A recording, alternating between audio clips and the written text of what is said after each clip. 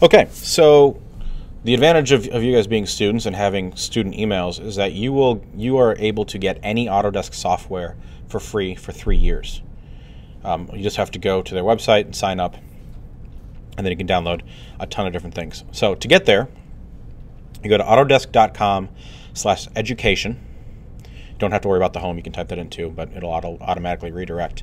Autodesk.com/education, and it takes you to their education hub.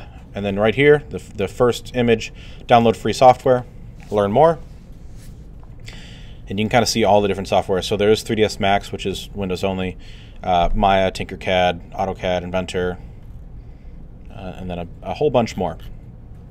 But for us, we're just going to worry about Maya. You click on Maya, it's going to ask you to create an account. Um, so use your your. I don't know if you can use a non-student email. I can't remember. Uh, but just use your Hennepin Tech email. Choose your version. We're using Maya 2018. Choose your operating system and language, and then you can download it. And it's a standard install. Uh, works great, and that's all you need. Uh, you can also check out the system requirements right here. Let's see, system requirements for Maya 2018. There is 2019 out, but I don't think it's available for students yet. At least I didn't see that option to download today when I checked. So we may move to it for advanced, but for um, for the basics class, we're going to stick with 2018. So no to the feedback.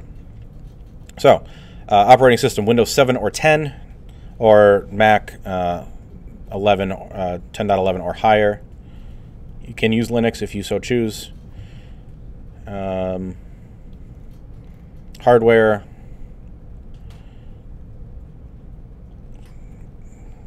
Eight gigs of RAM, four gigs of disk space. Really, the more powerful, the better. Um, not saying you need to buy a, a new computer. It, it, 3D is kind of funny in that it can run really well uh, if, if you have a lightweight project.